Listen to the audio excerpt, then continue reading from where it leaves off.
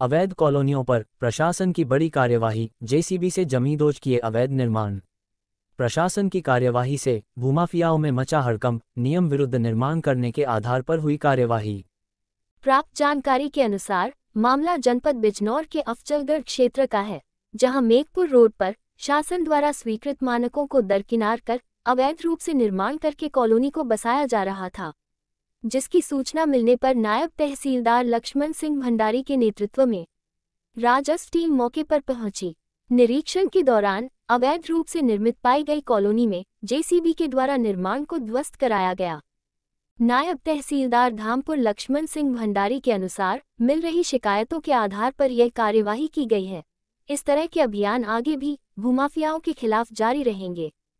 कार्यवाही के दौरान राजस्व विभाग से नायब तहसीलदार धामपुर लक्ष्मण सिंह भंडारी लेखपाल प्रमोद कुमार अनिरुद्ध चौहान जितेंद्र प्रताप सिंह नागेंद्र तथा गौरव कुमार शामिल रहे। में कई दिनों से शिकायत मिल रही थी कि जो भूम आत्मा द्वारा अवैध रूप से कॉलोनियाँ बसाई जा रही हैं जिसमें धारा अस्सी नहीं कराई गई है जबकि धारा अस्सी के लिए ये नियम है कि उसके ग्यारह शर्तें हैं एनओसी लेनी पड़ती है उससे नगर पालिका परिषद से प्रदूषण विभाग से और जिला परिषद से सुनाचा पास किया जाता है। तो वो इनके द्वारा कोई कुछ नहीं किया गया जिस कारण अवैध रूप में प्लॉटिंग कर रहे थे। बार बार शिकायत मिल रही थी। शासन स्तर से भी और शिकायतें शासन स्तर से भी और निर्देश मिल रहे हैं कि जो अवैध कॉलोनियाँ बन रही हैं और जिनका कोई वो नहीं जिनका अनुरूप नहीं शासन के अनुरूप अनुसार नहीं कर रहे हैं। तो उसको तुरंत ध्वस्तीकरण करके कार्रवाई की जाए इसलिए आज शिकायत मिलने के बाद हम मौके पर जा करके जो इनके द्वारा कागज़ मांगे गए तो ये उपस्थित नहीं हुए। इनसे कहा गया कि यदि आपने धारा से कराई है कोई और इसमें कार्रवाई की है तो हमें उसका नज़र नक्शा सब दिखाया गया।